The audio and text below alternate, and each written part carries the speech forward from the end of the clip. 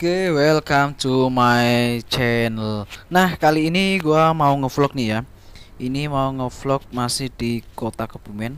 Nah, ini di jalur Karang Sambung. Ya, ini deket Kali Gending ya. Gua mau ngevlog ke Kota Kebumen. Nah, buat kalian yang suka ngevlog ataupun suka touring, eh, pernah nggak kalian punya pengalaman? Mungkin pernah trouble kah di jalan atau pernah ketemu gebetan yang akhirnya jadian atau mungkin jadi istri ya. Nah, ataukah kalian punya pengalaman mistis? Gimana? Mungkin ada yang pernah ngalamin? Oke, gua kali ini mau pengala eh, mau berbagi pengalaman ya, pengalaman mistis kemarin. eh bisa dibilang mungkin ada campur tangan mistis ya. Jadi gua kemarin belum lama baru touring dari Kabupaten Banjarnegara ya.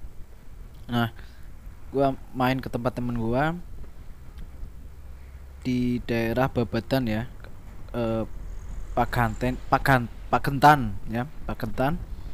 Nah, gua pulangnya ngalamin kejadian yang mungkin bisa dibilang mistis ataupun mungkin karena tekniknya ya, error ya. Karena kesalahan teknis ya.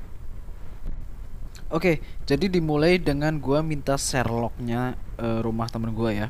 Nah, setelah gua dikasih Sherlock, gua oke gua OTW dan gua selama perjalanan gua via Sempor ya dari Kebumen via Sempor. Nah gua nggak nggak merasa aneh dan perjalanan pun lancar ya.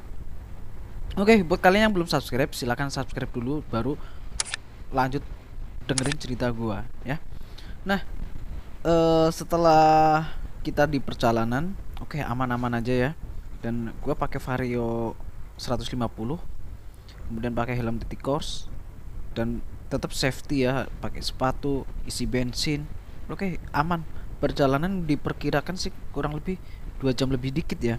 Nah gua eh, nyampe sana juga masih siang ya karena gua start kurang lebih sekitar jam 12 lebih sedikit lah ya. Nyampe sana itu sekitar jam 2 lebih dikit aja.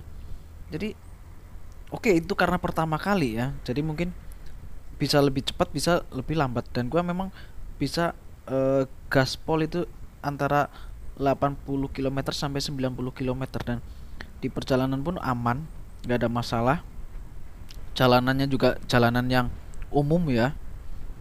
Jadi oke lancar-lancar aja sampai eh bisa dibilang itu kita sampai benar-benar pemandangannya itu indah banget di tempat teman gue ya.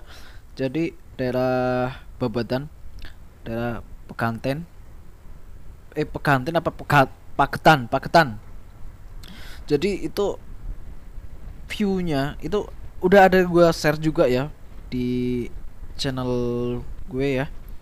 Ada beberapa shotnya gua share.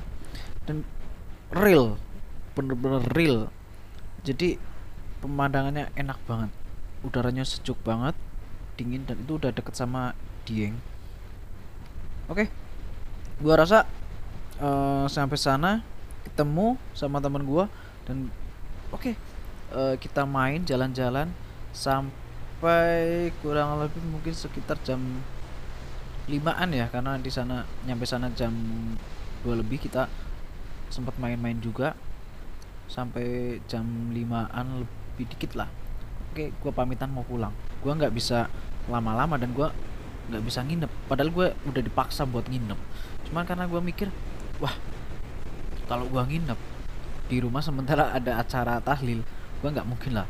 Karena gua sebagai tuan rumah kan orang tua lagi nggak ada ya.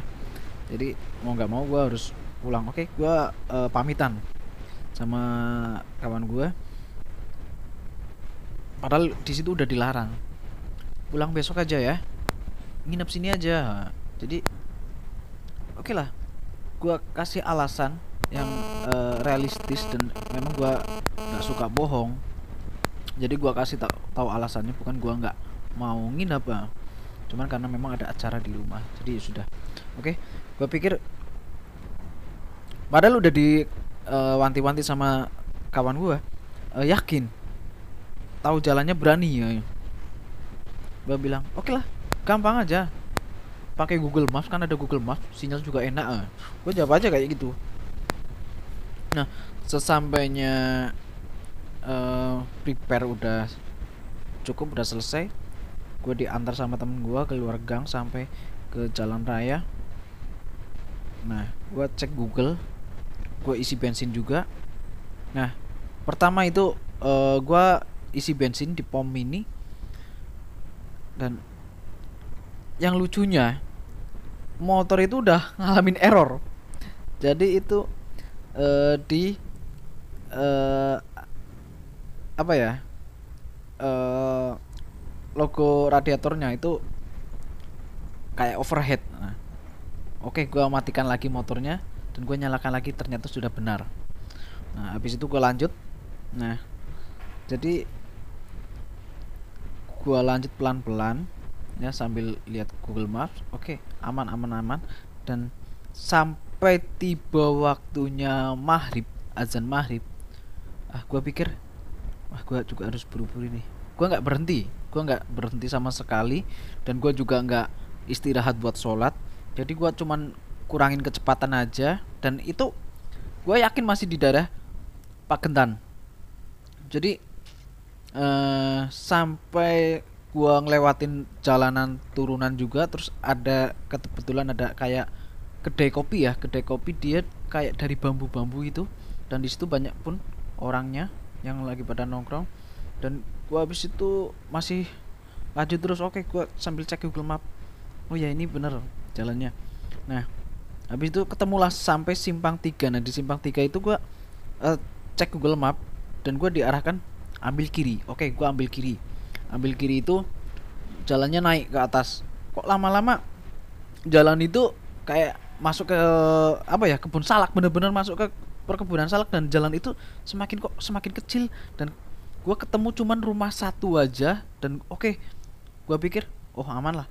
Gue lanjut terus dan lama-lama jalan itu semakin mengecil juga dan di situ ternyata kelihatannya buntu ya. Melewati jalan rusak habis itu kelihatan buntu. Oke okay, gue ragu ini kayaknya gue nyasar ini nah gue cek Google Map. Gue cek Google Map ternyata disuruh balik.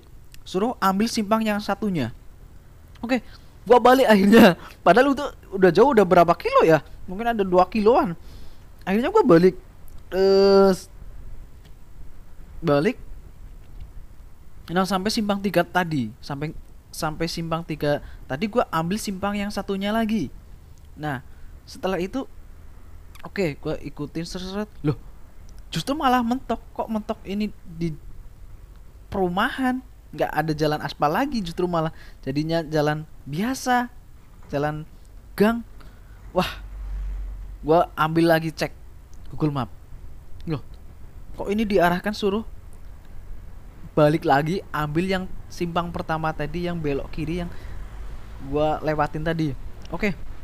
Dan itu masih waktu maghrib ya masih waktu maghrib akhirnya gua balik lagi ke situ. Nyampe lagi naik atas gua cek Google Map. Di situ nggak tahu ya kok sinyal hilang. Oke akhirnya ya sudahlah. Gue tetap lanjut lagi ke yang udah gue lewatin tadi. Dan gue cek Google Map lagi. Cek Google Map disuruh balik lagi. Wah akhirnya gue balik lagi. Ke belok kanan gue coba perhatikan mungkin ada jalan yang salah yang gue nih. Gue akhirnya balik lagi dan gue cek Google Map lagi disuruh balik lagi. Akhirnya oke okay, ini terakhir kali gue balik lagi ke sana. Balik lagi ke sana ke yang simpang pertama tadi yang jalannya jelek mentok. Nah di situ gua cek Google Map ternyata disuruh balik lagi. Akhirnya gua udah habis itu wah kayaknya ini gua disasarin. Entah Google Map entah mistis. Karena ini memang waktu maghrib akhirnya gua ya udahlah gua inisiatif buat balik. Kalau kayak gini gua balik ke tempat kawan gua. Daripada gua nyasar-nyasar. Uh, untung uh, bensin masih banyak ya. Jadi itu masih di daerah Paketan oke gua balik. Nah kebetulan ketemulah bengkel yang memang masih buka di situ dan masih ada beberapa orang ya. Akhirnya gue berhenti gue nanya. Gue nekatin nanya lah. Nah itu pun uh, udah sekitar setengah tujuh jadi mungkin udah ada setengah jam gue putar-putar di situ ya. Akhirnya gue dikasih tahu sama orang itu bahwa gue disuruh dari simpang tadi ambil yang kiri dan yang sesuai dengan yang pertama di Google Maps. Oke habis itu gue bilang loh tadi saya lewat sana pak. Hah. tapi kok kayak nggak bisa ada mas. Itu lewat sana nanti ada jalan jelek kecil. Udah ambil aja terus. Nah, oke gua uh, lewat lagi balik yang ambil kiri dan sampainya di sana gua uh, karena udah lewat maghrib ya gua ketemu jalan jelek dan gua oke okay, kata orang itu maju aja. Nah gua maju dan di situ ternyata gue ketemu sama beberapa pengendara motor yang kebetulan searah juga ternyata rame. Nah akhirnya gue nanya sama salah satu pengendara gue tanya gue stop e, mau ke mana? Ini bener gak jalan yang menuju ke kota Banjarnegara? Dan ternyata benar. Nah gue tanya mereka itu mau ke mana? Mereka jawab mereka juga mau ke kota Banjarnegara. Ya sudah gua minta sama mereka buat nemenin gua dan gua ngikutin mereka di belakang mereka jadi itu bener-bener ya jadi pengalaman gua ya. Jadi kalau kalian misal bepergian kalau maghrib lebih baik kalian uh, stop dulu ya. Berhenti atau kalau ada azan kalian berhenti dulu. Apalagi ketika maghrib ini uh, kalau dalam agama pun sebenarnya banyak setan keluar ya. Kalau orang Jawa bilang juga itu sendekala jadi ya gue pikir ini kesalahan gue kenapa gue nggak e, menghargai azan. Nggak sholat dulu berhenti dulu kah? Hanya karena pengen cepat-cepat. Akhirnya gue justru malah nyasar-nyasar. Dan uh, yang gue heran dari Google Map pun yang pertama gue ketika berangkat ke rumah kawan gue gue pakai jalan yang benar dan kenapa ketika pulangnya gue balik justru malah jalannya yang salah. Dan nggak sesuai dengan jalur yang pertama itu. Gue entah itu karena hal mistis ataupun karena e, kesalahan Google Maps ya. Gue nggak nggak tahu tapi itu menjadi pengalaman gue dan mudah-mudahan kalian juga e, lebih hati-hati ya. Dan uh, gua sampai rumah itu yang seharusnya dua jam lebih itu jadi tiga jam tiga jam lebih ya. Jadi sekitar jam sembilanan kurang dikit lah kayaknya itu baru nyampe. Baru nyampe rumah. Dan memang uh, kebetulan gua waktu itu nggak sempet buat vi videoin yang pas ketika gua nyasar muter-muter balik ya. Karena gua nggak kepikiran buat videoin bahkan buat bikin konten nggak kepikiran. Karena yang ada di pikiran gue gimana caranya gue bisa cepet-cepet keluar dari circle jalan itu yang hanya mutar-mutar terus. Jadi gue yang di pikiran gue wah kalau gue harus nginep di tengah hutan yang kondisinya dingin banget cuman bawa sweater kayaknya nggak sanggup kayaknya. Jadi gimana caranya gue harus keluar mumpung masih ada bensin. Nah oke itu aja. Uh, kebetulan ini udah mau nyampe kota Kebumen ya ini udah di Mertakanda jadi uh, bentar lagi udah nyampe Kebumen jalanannya juga halus ya gua bilang ya bisa dibilang halus lah jalanannya enak. Cuman memang agak sempit ya. Jalan ini cukup untuk papasan dua mobil aja. Nah eh uh, buat kalian kalau yang mau touring itu harus hati-hati harus bener-bener pahami jalur ya. Kemudian safety-nya motornya badannya fisiknya duitnya juga iya. Oke paling sekian dulu uh, cerita mistis gua dan gua sebenarnya masih ada cerita mistis lagi yakni ketika gua touring di daerah Kalimantan dan ini benar-benar bukan pembualan jadi ini real ya uh, oke okay. uh, eh, mungkin nanti gua ceritakan di konten selanjutnya ya nah oke okay, terima kasih Buat kalian yang belum subscribe, gue ingetin subscribe dulu ya. Hitung-hitung buat membantu mengurangi satu pengangguran biar ada kerjaan. Yakni kerjaannya ngevlog dan ngedit video. Oke, uh, terima kasih banyak. Tetap stay terus di channel gue. Oke, bye bye.